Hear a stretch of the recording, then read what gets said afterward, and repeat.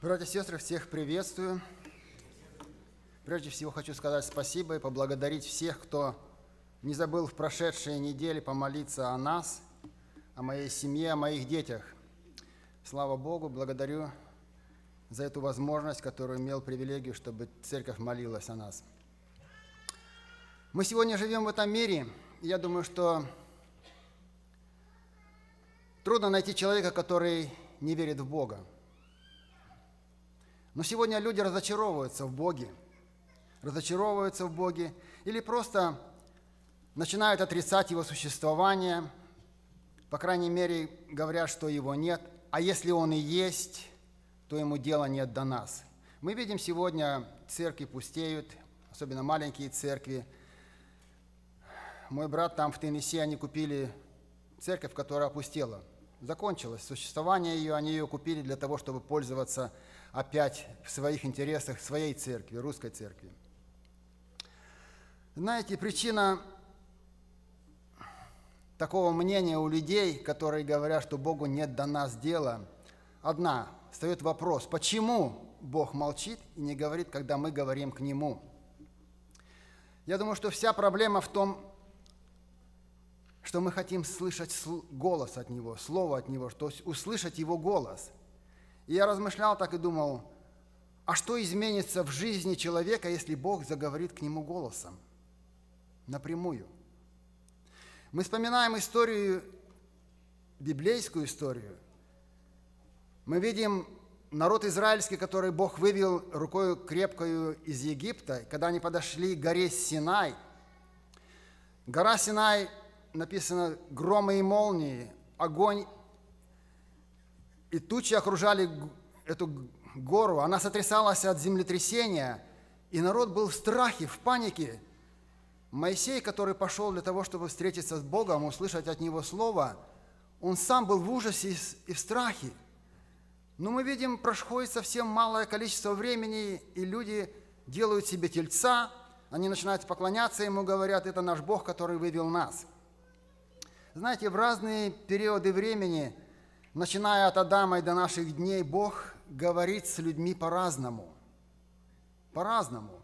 Бог говорил голосом с одними, к другим Он обращался в видении, с кем-то Он говорил во сне. Он являлся через ангелов. Бог говорил во все времена людям.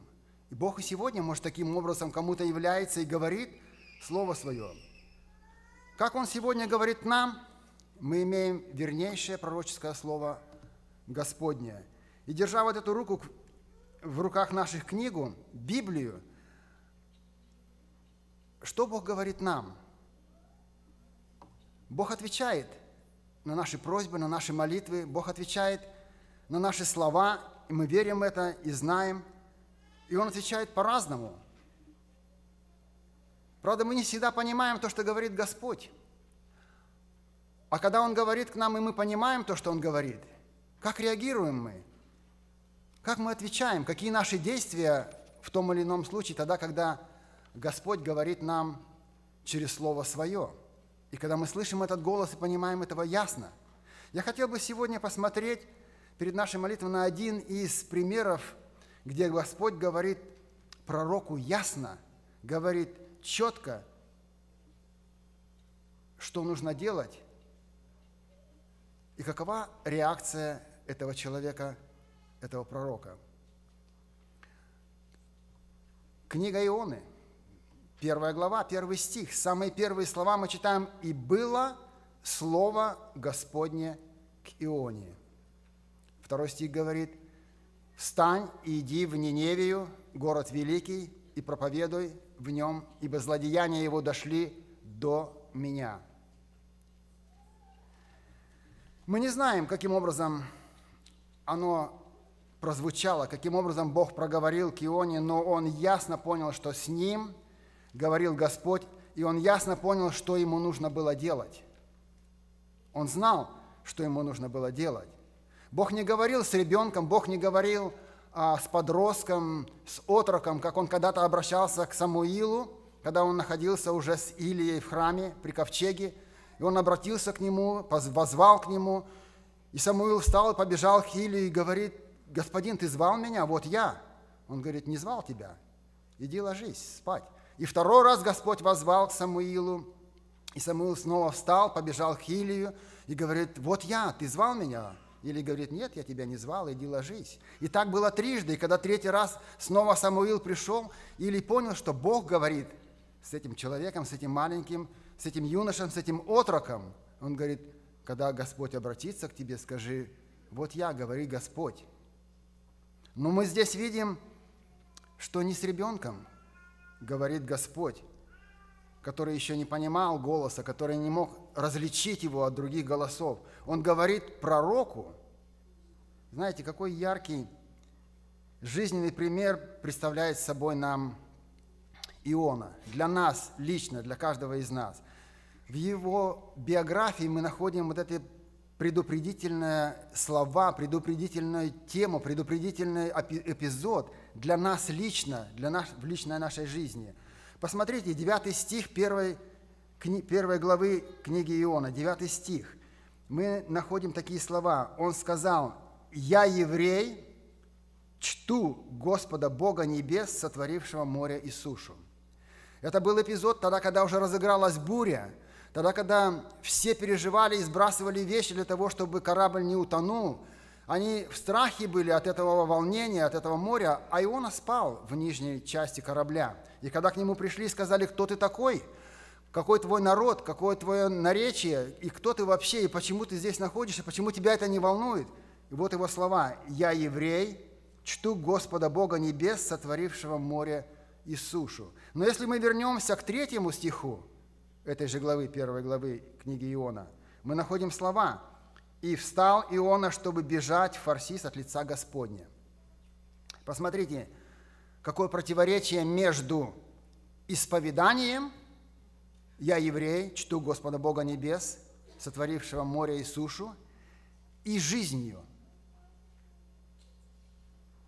Он верил в Бога, но убежал от Него – Казалось бы, какая впечатлительная картина. Перед нами пророк, который ослушался повеления Господа, который пренебрег то, что говорил ему Господь. А сколько сегодня таких людей, которые поступают так же? Со мной работает один человек, который в прошлом работал в миссии.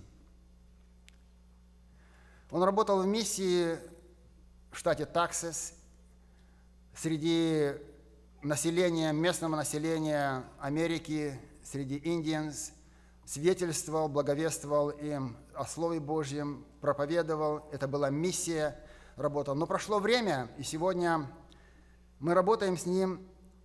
Этот человек ничем не отличается от этого мира, от людей этого мира. Этот человек знает, что есть Бог, он знает, что будет суд, но жизнь его – протекает сегодня как люди, у людей мира сего. Апостол Павел к Титу пишет, 1 глава, 16 стих, к Титу в послании он говорит, «Они говорят, что верят в Бога, а делами отрекаются от Него». Они говорят, что верят в Бога, но делами отрекаются от Него.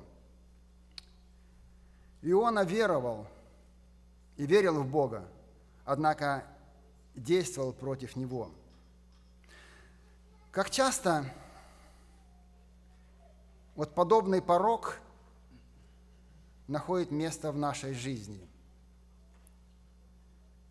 Очень часто, мы порой не замечаем об этом, подобные пороки сопровождают нашу жизнь. Мы много слышим о любви, говорим о любви, мы понимаем, что Бог есть любовь, и все, что связано с любовью. Но почему в жизни нашей проявляется ненависть в каких-то случаях? Вместо радости, которая должна быть наполнять наши сердца, когда мы видим успех другого человека, появляется зависть. Почему у меня не так? Почему у него лучше?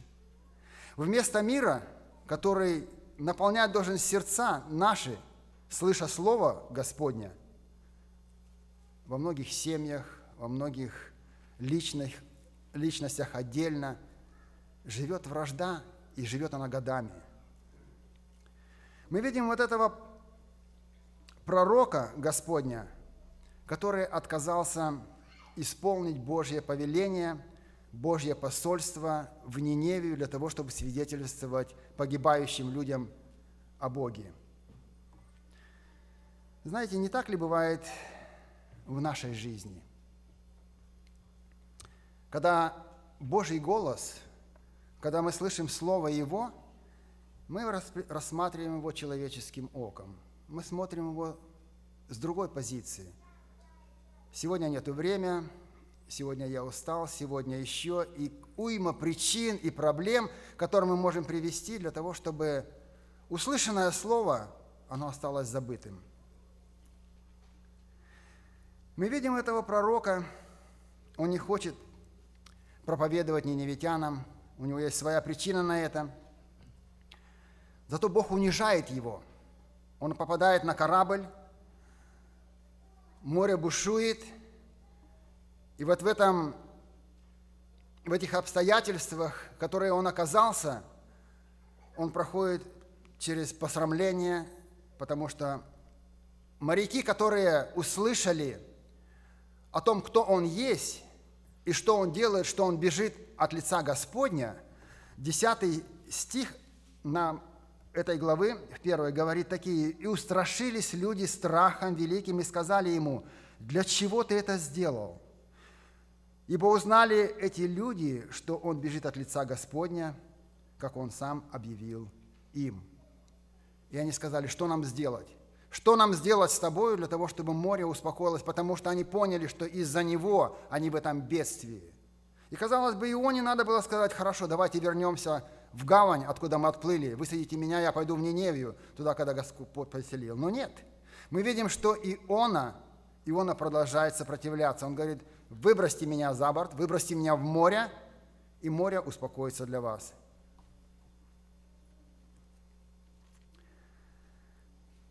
Наши отцы и мы еще помним истории наших продедов и дедов, которых в свое время отправили в Сибирь. Это ужасное место, Сибирь, каторга, куда отправляли людей послушных и непослушных, хороших и плохих, плохо сказал, неправильно подумал, не так посмотрел. Всех гребли в кандалы, и в Сибирь на каторгу отправляли. И туда никто не хотел идти для того, чтобы проповедовать тем людям, которые виновные или невиновные оказались в этих условиях и погибали, свидетельствовать Слово Божье. Но мы видим руку Божию, Бог делает по-другому. Он берет определенных людей, верующих, точно так же, одевает им кандалы и отправляет их туда для того, чтобы свидетельствовать там о Боге. Хотели? Никто не хотел туда ехать свидетельствовать. Но Бог таким образом отправлял верных своих, которые были верные. И они были верные и там, и там организовывались и группы, организовывались церкви, организ... люди спасались, приходили к Богу в тех условиях. Поэтому Бог, тогда, когда человек не хочет, Он делал его, проводил его через другие условия. И здесь мы видим, что непослушание Ионы, оно подвергло его бедствию, бедствию на корабле, но через это непослушание Божий план, он не изменился. Божий план не пострадал, не разрушился, Божий план не поменялся, потому что Бог хотел, чтобы те, которые в Ниневии, они обратились от злых, от злых дел своих. Знаете, непослушание для Ионы сделало путь длиннее. Путь сделало длиннее и тяжелее – но не избавила от обязанностей, которые Бог поручил ему. Не избавила. Порой мы сталкиваемся с трудностями в жизни своей, и мы не поймем, почему это происходит. Господь хочет, чтобы Слово Его, которое звучит к нам постоянно, оно было исполнено нами. Было ли обновление у Ионы? Я думаю, было. Тогда, когда он находился в чреве кита, когда он понял условия, в которых он находится, когда он возопил к Богу, Бог избавил его. Было это обновление. Можем ли мы сегодня, как дети Божьи, как христиане, как верующие, любящие Господа, сказать слова царя Иезекии? Просто сказать для себя, Вспомни, Господи, что я ходил пред Тобою с преданным сердцем. Можем ли повторить мы эти слова? Дай Бог, если мы можем. Я думаю, что и нам порой иногда нужно обновление, обновление нашего ума для того, чтобы нам поменять, поменять свое мышление, поменять свое отношение ко многим вещам в жизни нашей. Для чего это делать? А для того, чтобы те люди, которые разочарованы в Боге, которые сегодня знают, что Бог есть, но живут, как будто не знают Бога, они могли посмотреть на жизнь народа Божьего и увидеть в них, увидеть в нас живого Бога. Пусть Господь благословит нас в этом, размышлять об этом. Аминь. Помолимся.